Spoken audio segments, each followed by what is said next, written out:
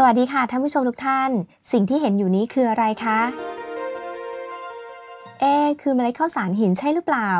สิ่งที่เราเห็นคือฟอสซิลชนิดหนึ่งค่ะ แต่ว่าจะเป็นฟอสซิลของอะไร เรามาหาคำตอบกันนะคะ คนไทยในอดีตได้พบหลักฐานทางธรณีวิทยาที่สำคัญมานานแล้ว แต่เรียกชื่อว่าคดข้าวสาร เนื่องจากรูปร่างของฟอสซิลที่พบ มีรูปร่างคล้ายกับข้าวสาร ในวันนี้อาจารย์วินัยเยาวน้อยโยธิน จะพาไปดูคดข้าวสารที่แหล่งกันเลยค่ะ ว่าคดข้าวสารคืออะไร มีนัยยะสำคัญอย่างไร และฟอสซิลนี้จะบอกอะไรแก่เราได้บ้าง เรามาศึกษาพร้อมกันเลยนะคะ วันนี้เรามาแหล่งเรียนรู้ทางบรรพชีวินที่สำคัญของประเทศแหล่งหนึ่ง แหล่งนี้ตั้งอยู่ที่บริเวณวัดคีรีนาครัตนาราม จังหวัดลบบุรี ในแหล่งเรียนรู้นี้เราสามารถจะเรียนรู้เกี่ยวกับ fusulinid หรือคดข้าวสาร ได้กับหินโผล่หินลอย ทุกก้อนในบริเวณนี้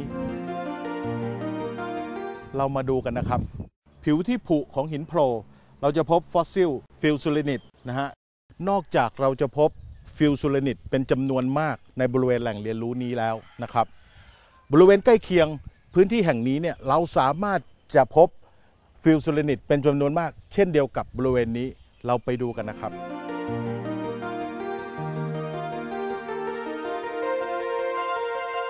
ขณะนี้เรามาอยู่ที่วัดเขาวงนะครับ เขาที่เห็นอยู่นี่เนี่ยนะครับ คลุมด้วยหินลอยซึ่งเป็นหินปูนซะส่วนใหญ่ หินลอยตัวเนี้ยถ้าเราสังเกตเนี่ยส่วนที่มันขรุขระจะอยู่บริเวณผิวเนี่ยจะพบคดข้าวสาร หรือในทางวิชาการตัวนี้คือ fusulinid สีขาวๆที่เห็นจะเป็นตัวคดข้าวสารหรือ fusulinid นะครับ ที่ฝังตัวอยู่ในหินปูน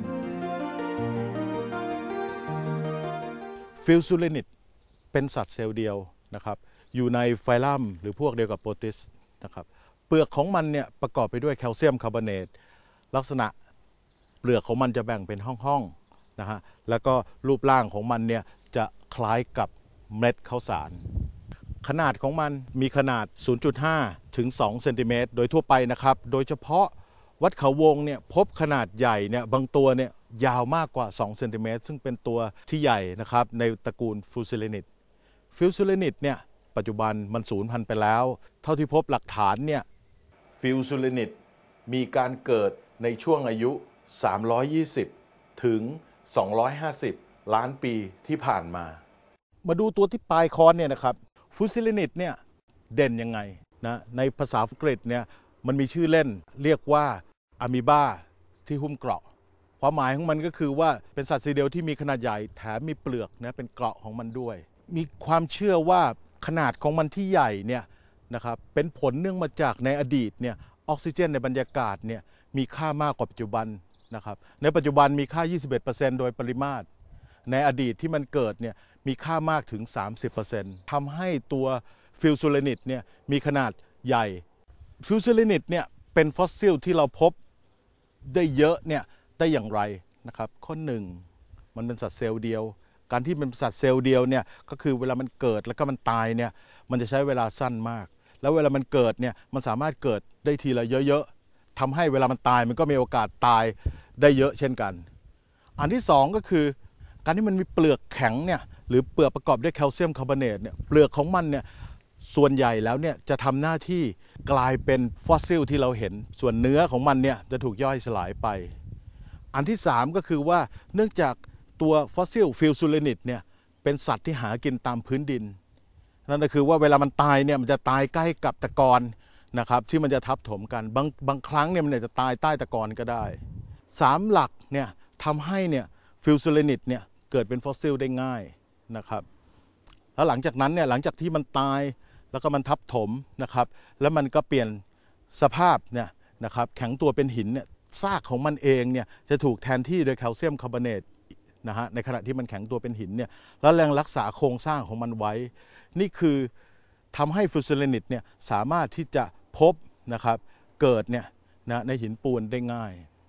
หินบริเวณเขาวงที่พบแทบทุกก้อนเนี่ยส่วนมากจะมี fusulinid นะครับแต่ไม่ใช่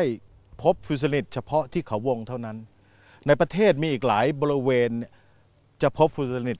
เช่นกัน โดยสรุปบริเวณวัดเขาวงที่เรามาศึกษาหินปูนที่มี fusulinid เนี่ยนะครับ